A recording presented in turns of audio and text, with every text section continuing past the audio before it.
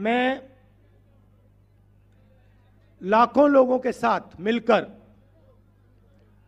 कन्याकुमारी से लेकर कश्मीर तक पैदल गया। यात्रा का नाम भारत जोड़ो यात्रा था।